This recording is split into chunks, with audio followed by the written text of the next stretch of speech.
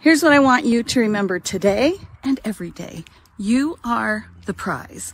Whether you are building a business or a career, you've got to remember that your skills, your expertise, the passion you bring make you the prize.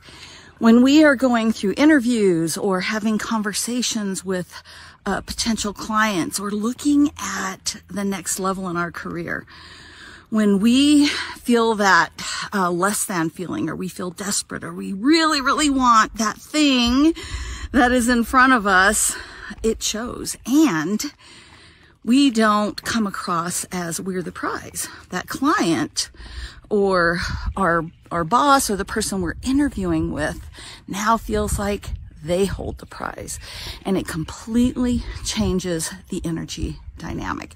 I want you to remember you are the prize. Own your expertise, know your value, and remember that with every conversation that you have, it'll make a huge difference.